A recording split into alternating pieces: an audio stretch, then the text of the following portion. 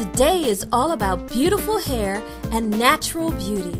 But the star of the show is definitely color. Exotic Shine Color with argan oil. We are on location at the Cream of Nature Exotic Shine Color photo shoot.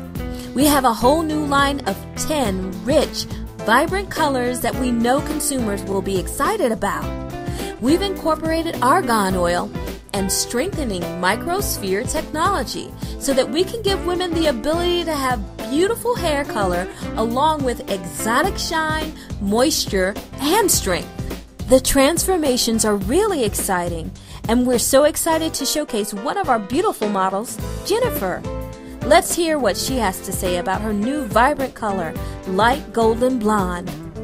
Hi, my old name was Jennifer, but now my name is Light Golden Blonde, and I couldn't be more excited.